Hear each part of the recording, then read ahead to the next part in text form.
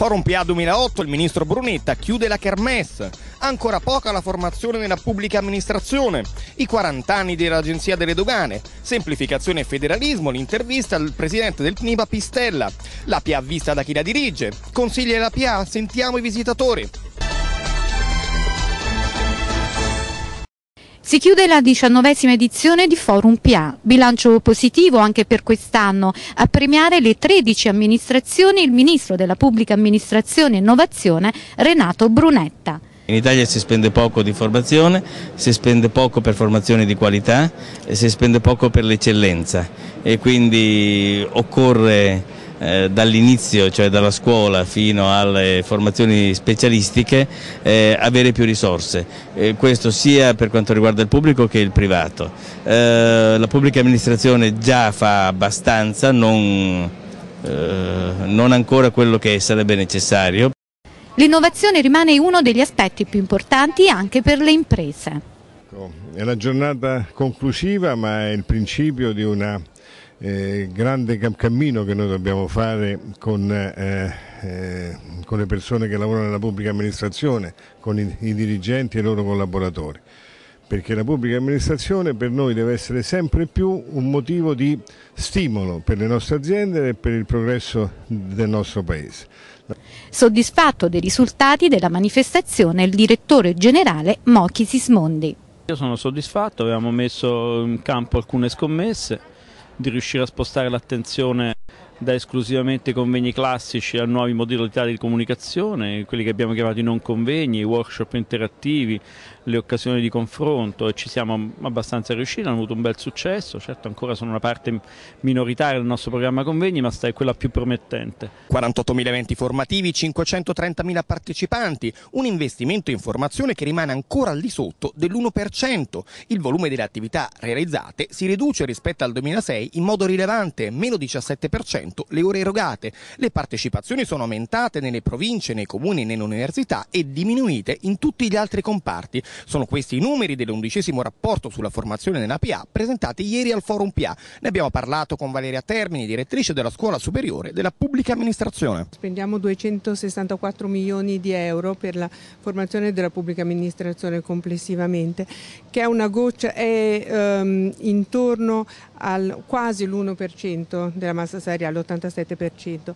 E ovviamente è una goccia rispetto ad altre realtà, penso alla Spagna dove il 50% eh, dell'intera spesa di formazione è convoluta e devoluta eh, alla scuola di formazione come la nostra, la scuola superiore, che ha il compito però di curare anche tutti i piani formativi, cioè c'è una strategia sul, intorno alla formazione. E noi stiamo costruendola è un puzzle che si deve costruire, abbiamo indicatori difficili sulla competitività del Paese che mostrano anche alcuni aspetti di inadeguatezza della pubblica amministrazione, di fatto è una macchia di leopardo, abbiamo punte di eccellenza e punte più, eh, diciamo più arretrate, meno motivate. Si tratta di metterle in rete e di attuare formazione, investimento in capitale umano, merito, è fondamentale. 1968-2008 sono 40 anni che le amministrazioni doganali sono al servizio dei cittadini e delle imprese. Lotta al contrabbando, sorveglianza delle frontiere e tutela della sicurezza dei cittadini europei. Questi i principali compiti. È cambiato, sta cambiando tanto. Poi come tutte le cose ci si muove con grandi sogni e piccoli passi. I piccoli passi sono dettati dalle capacità di integrazione tra diversi paesi quindi siamo perfettamente in linea col sistema di avanzamento tipico di un'unione che è coacerbo di diverse culture, diverse esperienze, diverse storie, diversi popoli.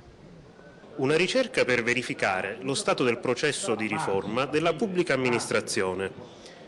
Commissionata dal Dipartimento della Funzione Pubblica, in collaborazione con la Ragioneria Generale dello Stato, alla Fondazione Promo PA, presieduta da Carlo Scognamiglio. I risultati della PA vista da chi la dirige sono stati presentati in un convegno al quale è intervenuto anche il giuslavorista e deputato Pietro Ichino. Uno degli aspetti fondamentali emersi è quello della valorizzazione del merito, ma ascoltiamo le parole del presidente di Promo PA, Gaetano Scognamiglio.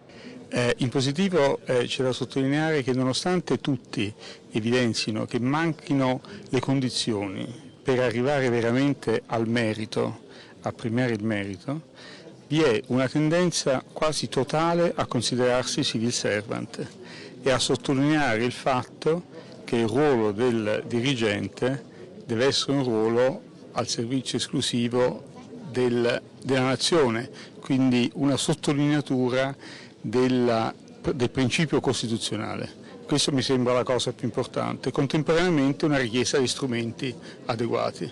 Questi sono i due aspetti che caratterizzano questa, questo secondo rapporto. È attesa una nuova stagione di riforma, è auspicata una nuova stagione di riforma che tenga conto in particolare della necessità di delegificare Semplificazione amministrativa, innovazione, federalismo sono questi gli elementi imprescindibili per rendere più efficiente e competitiva la nostra pubblica amministrazione. Sentiamo Fabio Pistella, presidente del CNIP. Credo che siano stati fatti recentemente dei passi avanti molto significativi nella costruzione di un rapporto di collaborazione di affiancamento di ruoli su un disegno concordato, che questa sia la traduzione del termine federalismo un esempio concreto è l'accordo recentemente stipulato dal CNIP per eh, creare il sistema pubblico di connettività in sigla SPC federale. Vuol dire che l'SPC nazionale è entrato in funzione il 30 novembre dell'anno scorso, nello spazio di pochi mesi ha già acquisito tre integrazioni a comprendere la regione Emilia-Romagna, la regione Toscana e la regione Umbria. Questo è un primo nocciolo, studiamo allargamenti ad altri ambiti regionali per creare questo sistema federale di strutture che nascono per vivere in maniera sinergica. Mi chiamo Giuseppe, vengo da Roma, sono qui perché sono un addetto ai lavori, mi occupo di comunicazione, il mio consiglio a pubblica amministrazione è snellire i processi, i procedimenti burocratici il più possibile. Mi chiamo Ida, vengo da Matera e sono al forum perché vengo appena posso, quando, quando ho tempo perché penso che valga la pena di essere informati e un consiglio è quello di formare il personale. Mi chiamo Stefano, vengo da Milano, lavoro per una società di ricerca che si chiama Forrester e vengo al forum PA per eh, conoscere nuovi clienti, conoscere eh, nuove persone. E un consiglio che dà la pubblica amministrazione sarebbe quello di snellirsi, di essere più flessibile, più efficace. Buongiorno, io sono Eugenio, sono al Forum PA per incontrare alcuni dei miei clienti. E un consiglio che posso dare alla pubblica amministrazione è di investire nella digitalizzazione e nella innovazione del business. Allora, mi chiamo Tracy Hutchinson, eh, vengo da Londra, e, eh, sono con un'azienda che si chiama Intersystems e sono venuta a Forum PA a vedere effettivamente che cosa sta succedendo qui in Italia per quanto riguarda l'information technology, particolarmente nelle aree della pubblica amministrazione, la sanità e anche il local government.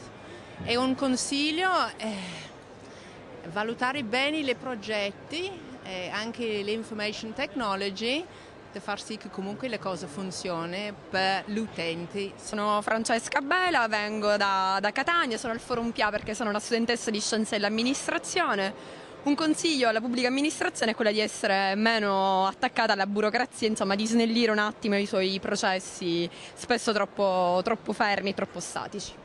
Eh, sono Maria Teresa, vengo dalla provincia di Reggio e sono anche una studente di Scienze dell'Amministrazione della LUMSA alla pubblica amministrazione do il consiglio di essere più trasparente, chiara e vicina agli utenti.